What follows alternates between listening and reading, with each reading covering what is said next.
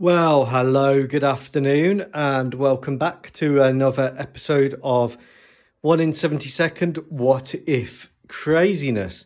Now, I'm busy constructing some aircraft here. I've got another F 44.5 to finish, F 16, an Eagle, Growler, loads of stuff going on. But um, a subscriber has made a comment or asked a question, and I always like it when subscribers um, give me decent uh, ideas um, because one, it fires my brain, um, means I can go and do some research, maintain my interest in warfare, and two, uh, it gives me ideas for what to build. So, whoever you are, thank you for the idea. The question was around nautical strike, it was around Vulcans and Cold War nautical strike, and it, it got me thinking about a basic core doctrine of the what if Malagasy armed forces. This is all what if, um, so it, it's not, you know, um, serious. But um, I've taken the premise that uh, Madagascar, the Malagasy armed forces, uh, struck oil in the 50s and 60s, uh, became a great power regionally, and um, developed strong air force and military, which allows me to model it. Um, I don't model um, actual real military stuff really because of politics and I have to stay non political for my job and various other reasons. So I hope that makes some sense. So that's why I chose Madagascar. Uh, also because of the movie with penguins. Um, but anyway, here we go. So, um, nautical strike is a matter of life and death for the Malagasy armed forces. Now, let's um, keep our definition of war around Clausewitz's because I think it's the best. The objective of war is to disarm your enemy and compel them to do your political will. And Madagascar is, of course, an island, so the easiest way to compel um, Madagascar to do your political will, if you mean Madagascar harm, is to blockade it, surround it, and uh, disarm it. So, nautical strike protection of an island nation is a matter of life and death. So let's have a look at what's going on in the world at the minute. We've, got, of course, got the Russia Ukraine war, um, various attacks on the Black Sea Fleet by Ukraine, which I believe is a sh- side show. Sorry to disappoint you. I don't think it's going to win Ukraine war anytime soon. But nautical matters and matters to do with the Navy are a matter of life and death. So in World War II, the Battle of the Atlantic and the U boat war the U boat war was an attempt by Nazi Germany to compel Britain to do its political will by isolating them and cutting them off. The Battle of the Atlantic, I believe, was where the war was won. It was won by defeating the U boat threat, allowing the convoys to get through to keep Britain in the war. If we look at um, another naval war, we look at the Falklands War. Britain was able to isolate the Malvinas or the Falklands, um, and it did this by a one ship, showing that one ship does do plenty. And that one ship was HMS Conqueror. So HMS Conqueror sunk the Belgrano, which meant that the Argentine carrier, the Ile de Mayo, did not take part in the conflict. If it had, it could have really changed the balance of the conflict. Now, naval war is expensive. Um, ships are vulnerable and losses are incurred. The fact that Russia is losing its Black Sea fleet is nothing unusual. It's moored up in harbour, it's in a confined space, it's operating within a small geographical area. It's losing a lot of ships. In the Falklands, the British task force lost a lot of ships particularly when they went into the landing zones, San Carlos, Bluff Cove. And the difference between a great naval power and what I'd call an also ran naval power is the ability to influence battle in the deep ocean. There's very few nations that can do that. And the Malagasy armed forces have to be prepared to influence battle in the deep ocean. If we look at where this was done most successfully in World War II in the Pacific Campaign, Midway, Coral Sea, Leyte Gulf, and Truk Lagoon was where the Americans really won the Battle of the Pacific. Pearl Harbor failed because the carriers were missed, and in many ways, like what's happening with the Black Sea Fleet in Sevastopol, it was a sideshow. And the Japanese commander knew that when they missed the carriers. So nautical strike for an island nation like Malagasy, Madagascar is life and death. So here is a not to scale drawing of Madagascar off the coast of Africa. Now, identifying the main threats to Madagascar is quite easy. The main threat and the only global superpower at the minute is the United States. The only country that could isolate Madagascar, cut it off, blockade it, surround it, and compel them to do their will is the United States, who are thankfully an ally. China in 2030 probably will be able to do this. India, maybe in the future, yes. But at the minute, the only power in the world that can do this is the United States, which is reassuring because it keeps Madagascar relatively safe having them as an ally. But you never know what might come around the corner. So, nautical strike is important and it is, like I said, life or death. Now, you notice I've not put Russia on here. Uh, I don't believe Russia is a great maritime power. It operates in very constrained seas. I would say it's got the ability to do damage with submarines, but it could not isolate, blockade, surround, and invade Madagascar in the way that the Americans could with their carrier groups and amphibious groups.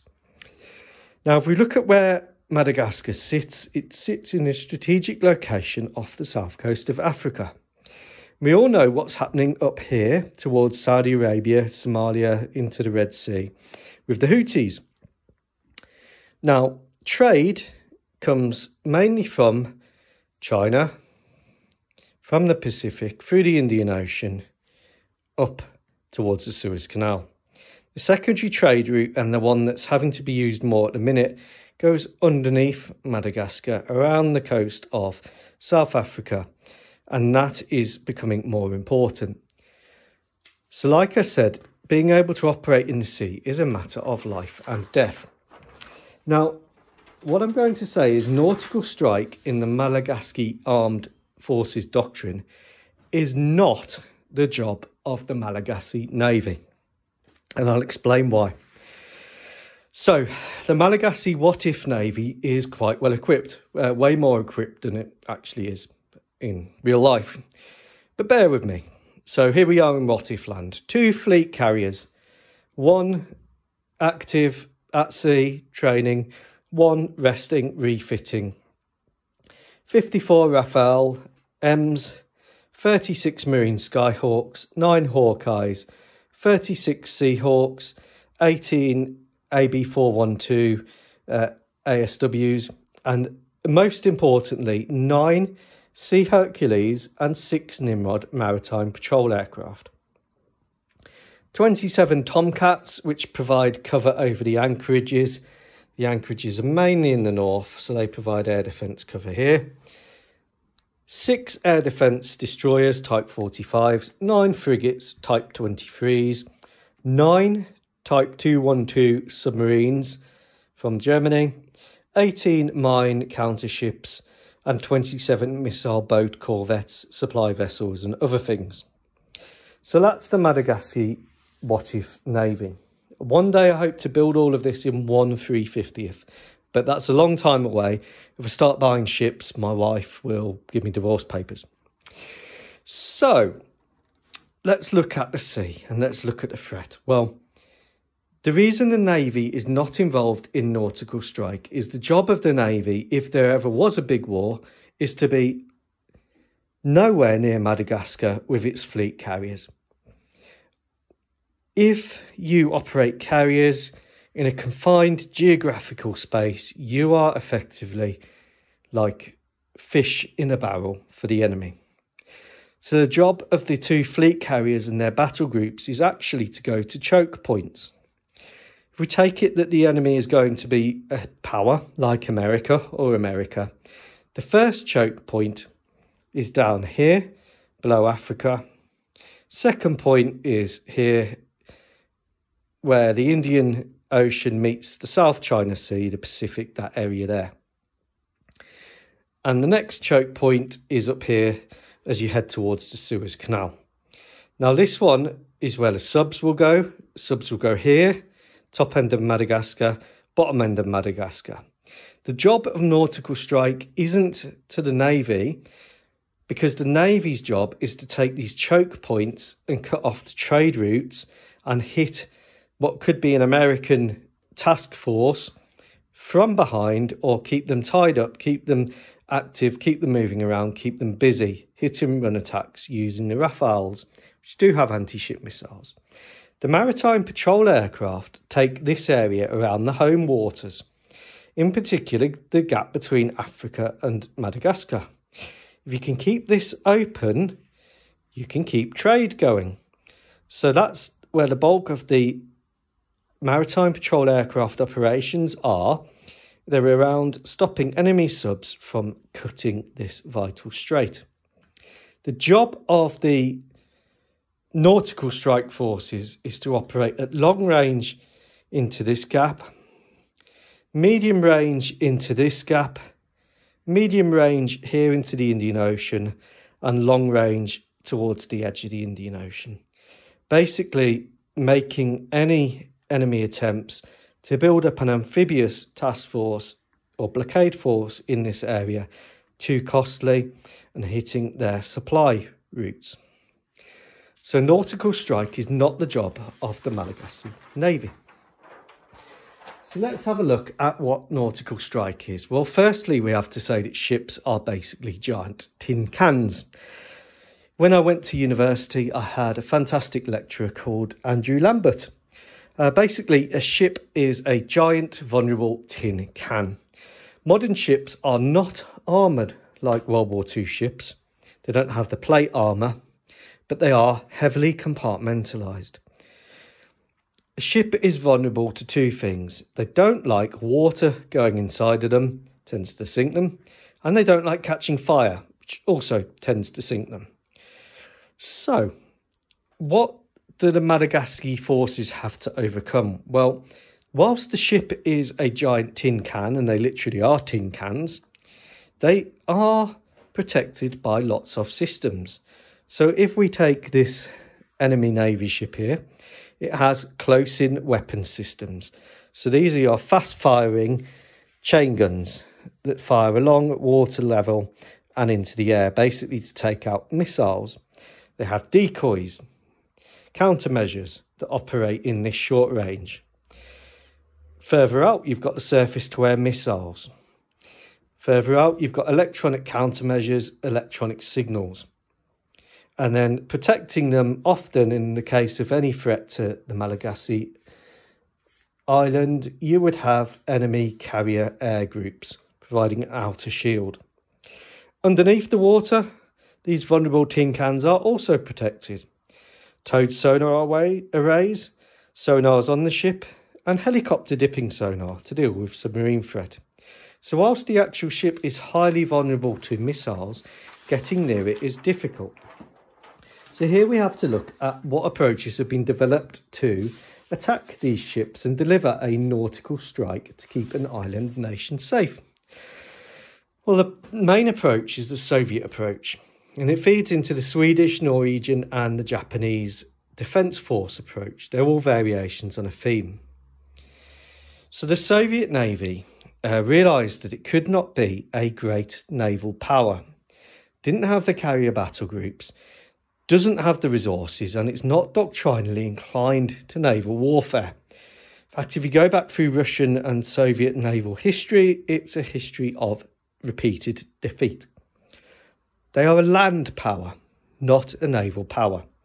So they developed a doctrine of being able to defeat the American and British, mainly American, carrier battle groups. And they did this with long range bombers. So this is where you have the Tu 22K blinder, you have the Tu 22 M3 backfire, and you have the Tu 95s, and you have before that the Tu 16 to a degree. Now, the Chinese have kind of taken this approach as well.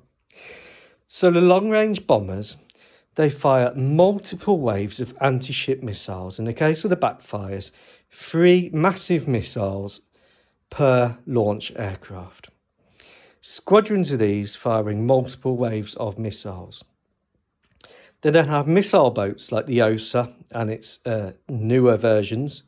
They have submarines and they're basically firing multiple waves of missiles at the US carriers. And the reason they're doing that is because back in the day, now gone, you had the Tomcats, you've still got the Hawkeyes, you've got the Hornets, you've got the close-in weapon systems, and you've got the SAMs. The Soviet doctrine was basically to absolutely overwhelm the US carrier group, just totally overwhelm it.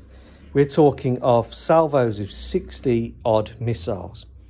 Now, of course, closer in, you've got coastal defence batteries, such as the Bastion and uh, Onyx and other uh, coastal defence missile and gun systems. Uh, to, to a degree, Sweden, Norway, um, the Japanese do the same thing, but with smaller aircraft. Aircraft like the Gripen, the Viggen, um, the F2 now for Japan. It was the F1 uh, previously, the sort of trainer, which uh, was an anti ship missile carrier, and they used the RBS 15 and the ASM 2. So, this is the approach that the Malagasy armed forces will also be taking because if you can overwhelm this carrier group at long range, you might get 50 of your 60 missiles shot down. But your 10 remaining missiles, if they hit their target, given the power of modern anti ship missiles, given the vulnerability of the tin cans, you will make attacking your island utterly, utterly unworkable. So 10 hits on a US carrier battle group, say two on the carrier, two on the cruisers, and the rest on the escorting destroyers, you would effectively put that battle group out of action. You have to do it via overwhelming force. You can't do it by single nice little shots. It has to be absolutely overwhelming. So that's the doctrine that the Malagasy armed forces are working to. So the plan and the reason why it doesn't include the Navy is because the Navy needs to get uh, away from Dodge. The Navy needs to go out and strike the attacking forces' supply lines, harass them, get its battle groups away from the confined waters,